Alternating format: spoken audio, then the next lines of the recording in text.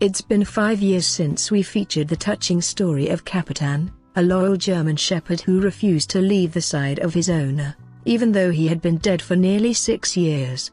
Well, believe it or not, the old dog still spends his days waiting by his deceased owner's grave, ten years after he passed. Capitan's undying loyalty for his master first made headlines in 2012, when local papers in the Argentinian town of Villa Carlos Paz reported that the dog spent every day waiting by the grave of his owner, Miguel Guzman, who had died in 2006.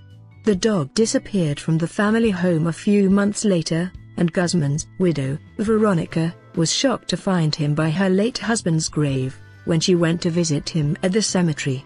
She and her son, Damien, tried taking him home several times, but he always ran back to be by Miguel's side.